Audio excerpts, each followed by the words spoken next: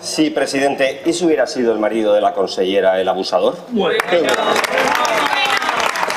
Hace semanas le pregunté a quién iba a asumir las responsabilidades políticas por las, por las, por las condenas por su pésima gestión sanitaria. Usted se escondió detrás de la señora Oltra, que ya debería haber dimitido si fuera coherente con su peculiar código ético. ¿Se acuerdan ustedes de lo de la ética y la estética y lo de la mujer del César?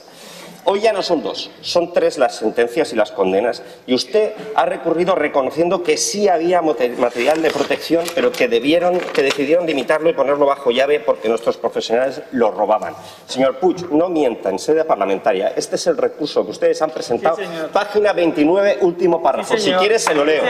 Toda vez que la circunstancia de poner bajo llave el material obedecía que se estaba sustrayendo el mismo. Ah, pues. Usted ha llamado a los sanitarios ladrones en el recurso. Usted a esas personas que se estaban jugando la vida para salvarla de otros, los ha acusado de ladrones, señor Puig. Y usted, y solo usted, puede asumir la respuesta a esta pregunta. ¿Quién en su gobierno va a asumir las responsabilidades políticas de todos los insultos y de todas las condenas que se están produciendo por la gestión sanitaria de su nefasto Consell?